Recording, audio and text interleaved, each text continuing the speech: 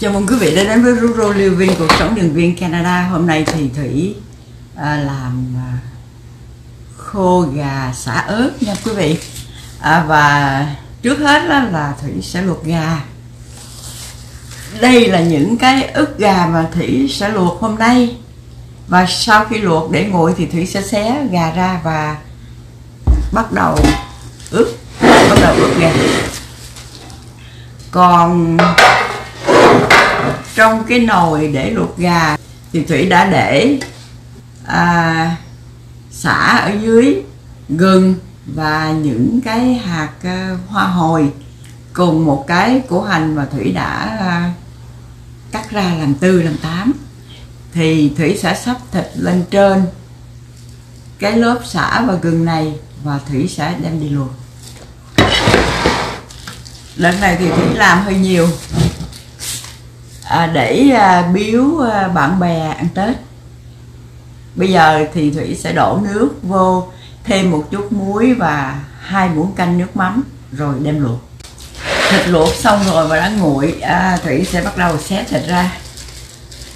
Không cần xé nhỏ lắm nha quý vị. Nha mình xé theo à, sớ của thịt. Khi xé xong hết thịt thì thủy sẽ à, ướp ướp trong vòng à, một tiếng đồng hồ, rồi thủy sẽ bắt lên chảo à, xào trộn lại cho mọi gia vị nó thấm. Sớ thịt rất là ngon, quý vị. Sớ thịt miếng à, vừa ăn như thế này. Hôm nay ở ngoài trời nắng rất là đẹp, nhưng mà lạnh trừ 30 độ C. Cho nên ở trong nhà làm khô gà khô gà này mình làm mình ăn à, ăn vặt cũng ngon lắm. Thay vì ăn à, bánh kẹo thì mình ăn à, khô gà. Bây giờ thì thủy đã xé hết thịt gà ra rồi. Đây là cái dĩ thịt gà của thủy thì thủy sẽ bắt đầu ướp nha quý vị. Trước hết đó thì thủy đổ vào 3 muỗng canh bột tỏi.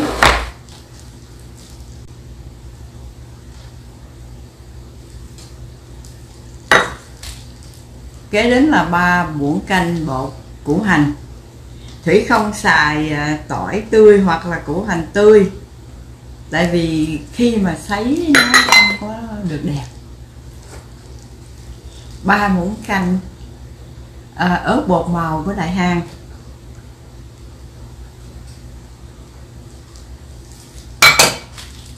và ba muỗng canh à, nước của hột màu điều.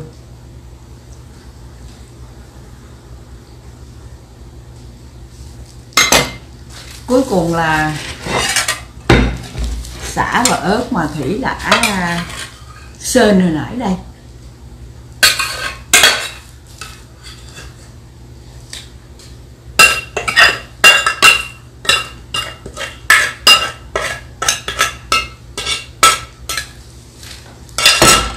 Chút nữa sau khi ướp xong, khi mà thủy à, xào lên thì thủy sẽ à, bỏ vào trong dầu một ít ớt khô và một vài trái ớt à, trái ớt tươi. Bây giờ là thủy trộn đều.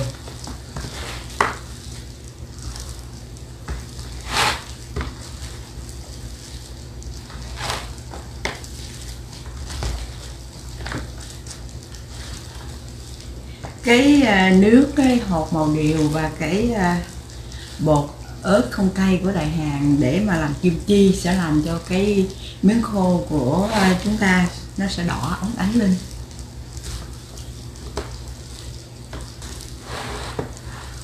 Cái này thì sẽ không có thể nào mà làm, không có cái chảo nào mà bự mà làm đủ cái này hết, cho nên thủy sẽ làm hai lần.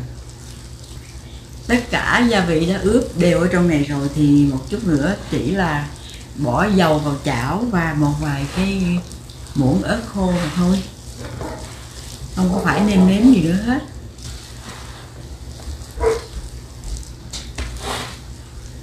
Ngay cả không có phải là tết thì cũng vẫn làm cái à, khô gà này để à, mình ăn vặt. Nhà thủy có nuôi gà nên nhiều gà lắm. Cả mấy trăm con.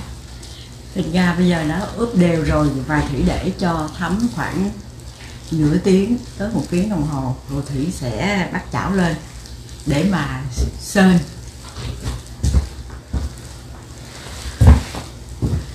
Khi mà sơn là thủy sẽ bỏ ờ, một chút mật ong vào đặng cho cái màu của gà nó vừa đỏ mà vừa lóng lánh.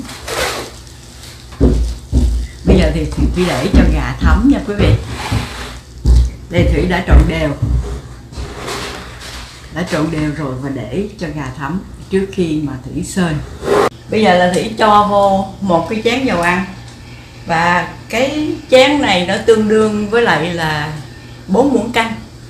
Bỏ vỏ ớt khô và ớt trái. Thủy xào đều ờ, ớt lên nha quý vị.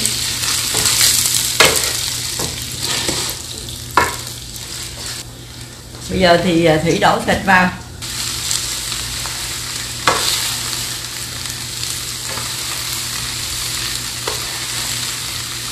Giờ thì là thủy để cho thịt thấm dầu.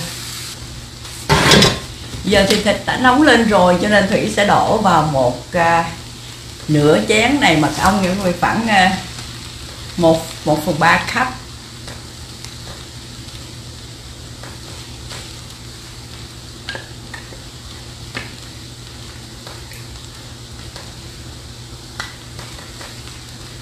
Khi mà quý vị làm thì cái cái cái phân lượng nó tùy theo cái cái à, khẩu vị của gia đình mình.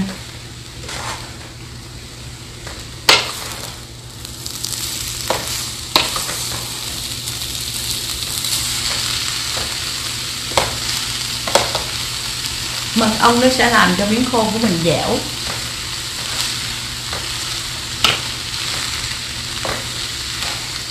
Miếng thịt gà bây giờ rất là vàng. Thủy thì thích bỏ cái ờ, màu hột điều hơn là bỏ cái bột cà ri. Thủy không có thích cái mùi bột cà ri cái mùi bột nghệ. Bây giờ thủy đảo đều lên là thủy có thể đem đi ờ, đi sấy bằng quạt và thủy sẽ làm tới một cái ờ, à, mẻ thứ hai mẻ thứ hai thì thủy cũng làm giống như vậy thôi. Được rồi quý vị bây giờ thì thủy sẽ đem đi sấy bằng quạt và bây giờ thì là thủy đang sấy à, khô gà xả ớt. Bây giờ là chiều thì thủy sấy suốt đêm thì ngày mai khô gà sẽ khô. À, chừng đó thì thủy sẽ để vào trong một cái bọc mà bảo quản.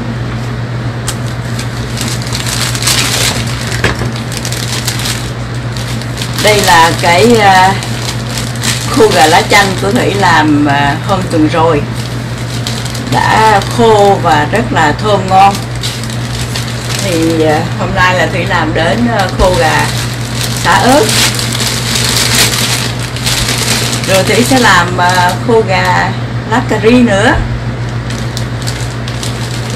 Khi mà quý vị sấy bằng quạt như thế này thì mỗi hai tiếng đồng hồ quý vị dùng đũa mà trở à, gà ở dưới lên trên đặng cho nó mau khô.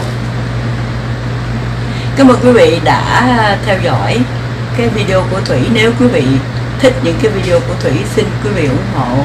Cho Thủy có năng lượng làm thêm những cái video mới. Xin kính chào quý vị. Bye bye.